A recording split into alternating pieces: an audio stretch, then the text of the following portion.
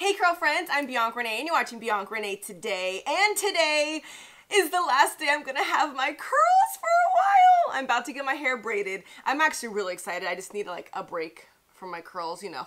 You know, we've all been there. I'm going on vacation tomorrow. I'm going to Aruba and I don't want to have to deal with that crazy humidity or the ocean. So we're just gonna send our curls on a little vacation as well. So I'm going to get braids, like real braids, not these little janky whatever braids. I'm talking Janet Jackson, Poetic Justice braids, Beyonce, Hold Up, They Don't Love You Like I Love You type braids. So in today's video, I'm to show you how I prep my hair before getting braids. No, we're not to straighten our hair before we put our hair in braids.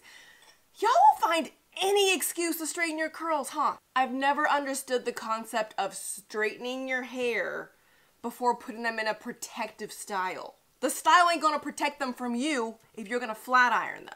So I'm gonna show you what I do just to kind of stretch out my curls before I get braids. I did this before, it worked out just fine. So I mean, you don't have to straighten your hair.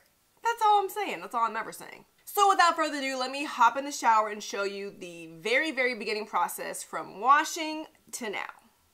All right, the time has come. I have to say goodbye to my curls. I kind of get like separation anxiety, but let's do this.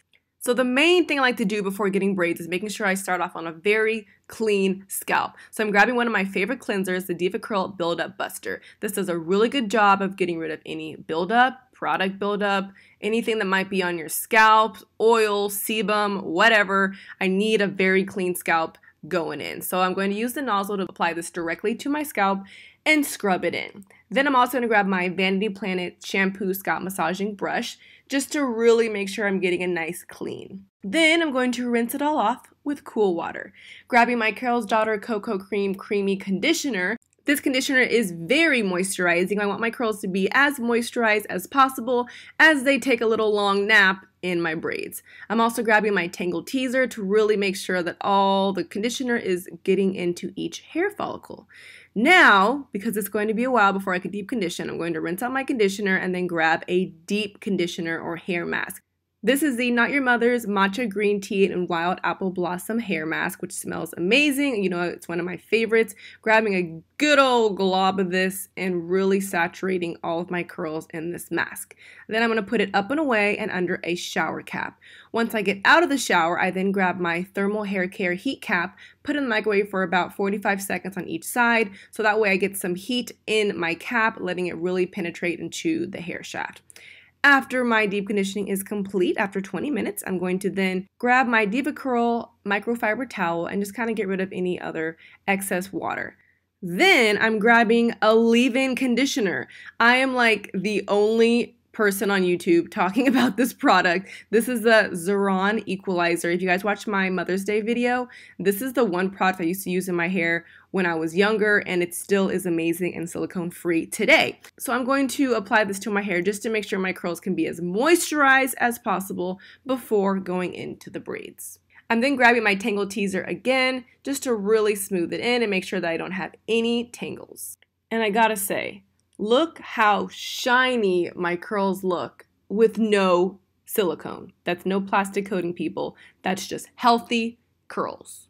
And now for the most important step. I'm gonna put my hair away into two braids.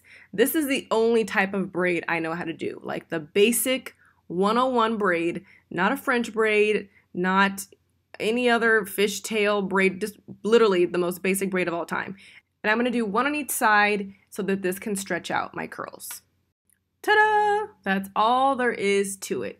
Now I'm just going to let them sit while I go to sleep. And that is how we got to this point right here the next day. So let me go ahead and take off my satin lined hat by Tress for Us.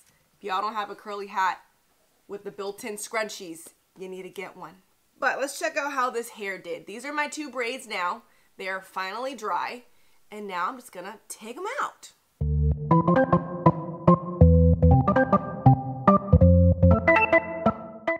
So now we're stretched out, a little bit flatter, but for this instance, I kind of want to brush it out so I don't really have a curl pattern. Don't do this unless you're literally are trying to make it puffy and fluffy and do braids. But I am going to brush it out just to kind of get rid of that curl pattern.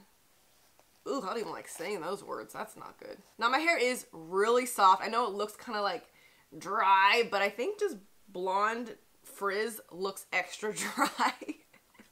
but don't worry, it's actually very soft, already detangled. Wow, that is not cute. Ta-da! We are stretched.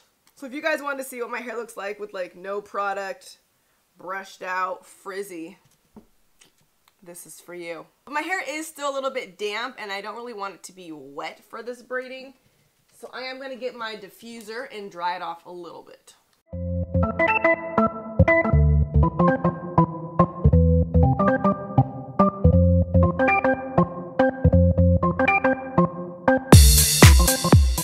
Isn't having curly hair so crazy. Like, you could do so many things with it. You could have a completely different look depending on what you do or don't do to it. Alright, so I'm to leave my hair just like this. It is all combed out, no tangles, it's clean, and it's stretched so I don't have any like super defined curls that are to try to pop out of my braids. So the hairstylist is to be doing my braids today is Lauren Holiday. And I'm to ask her if I can add a little bit of leave-in conditioner or if it's better for it to be dry. We'll see what she says. But for now, I'm just to leave it as is. It actually looks like the hair that I bought for my braids. Let me show you. So here's the... Oh, so here's the hair that I'm going to be using for my braids. This brand is... Oh, it's literally called Poetic Justice Braid. That's funny. African Nature Braid Collection. It's already prepped and stretched, which is usually what stylists prefer to have the hair already pre-stretched. It's 56 inches large, quick braid, and this is the color that I got. So actually, pretty similar to mine, but a little bit blonder. And I got seven packs of these, so we'll see if that's enough. Hopefully it will. Color is T27 slash 613. So it's a blend of two different colors. And then I want to try something different this time and add a little bit of curl on the end of my braids.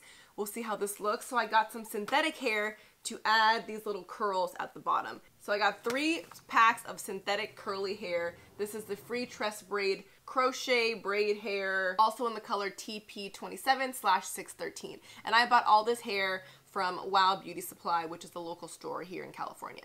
I'm not sure if they're in other states, but if they are, it's a good store. All right, the time has come. She's gonna be here any minute to start braiding. Goodbye, my curly hair. I feel like I'm gonna miss it, but then it's so easy to wake up in the morning that I'm like, I'm fine. All right, let's start braiding. Here we go. This is Lauren. Starting the process.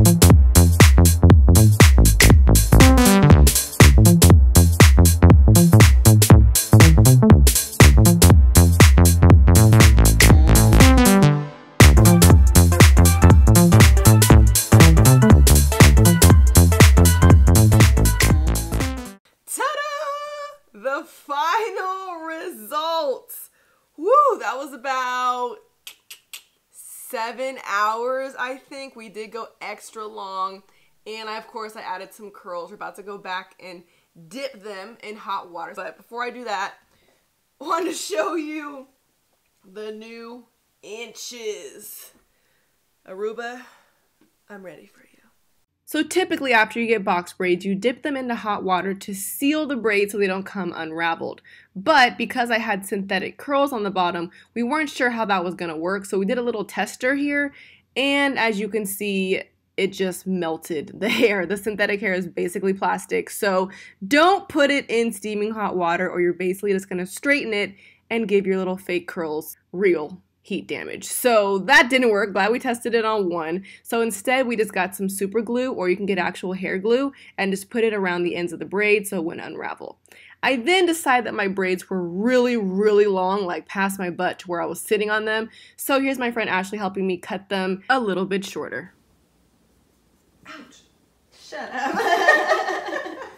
I stopped too, like I heard you.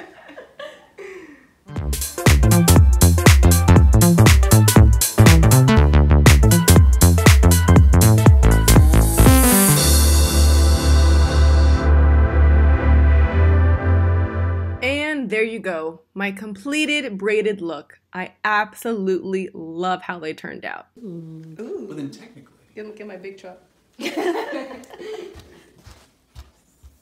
If you guys enjoyed this video, make sure you give me a thumbs up and subscribe. I post two new videos every week, once on Friday and once on Sunday. And make sure to follow me on Instagram at Ms. Bianca Renee because I will be posting some fire photos very soon. I'll see you guys next time. Thanks for watching Bianca Renee today.